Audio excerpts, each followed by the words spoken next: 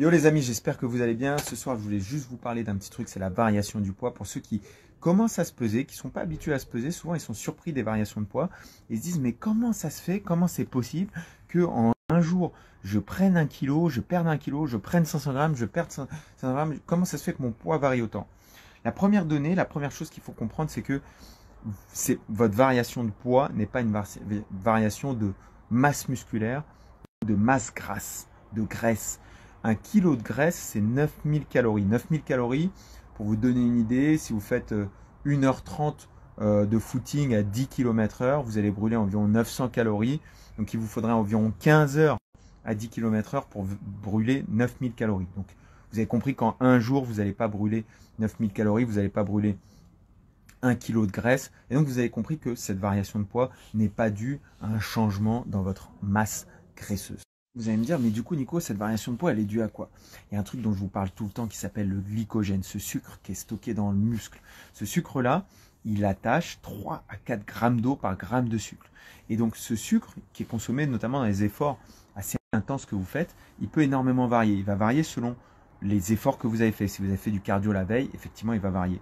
Il va varier selon le nombre de glucides, la quantité de sucre que vous avez mangé dans la journée. En plus de ça, votre hydratation va varier. C'est-à-dire qu'il y a des fois, il y a des jours où vous buvez beaucoup, et d'autres jours où vous buvez moins.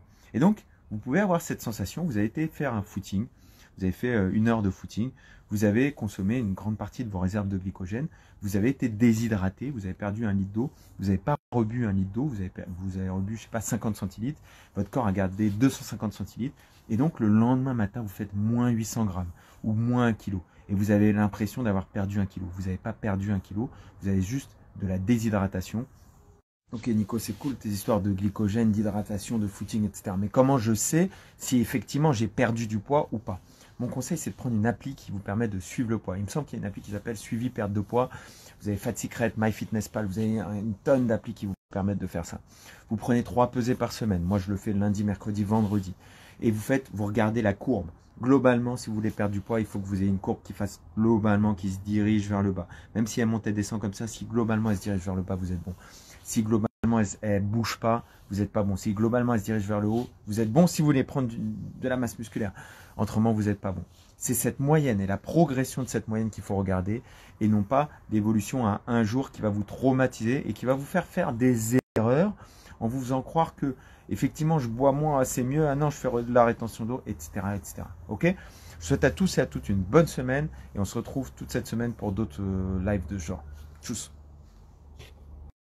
Yo yo yo Yo les amis, j'espère que vous allez bien. Ce soir, je voulais juste vous parler d'un petit truc, c'est la variation du poids. Pour ceux qui commencent à se peser, qui ne sont pas habitués à se peser, souvent ils sont surpris des variations de poids. Ils se disent, mais comment ça se fait? Comment c'est possible que en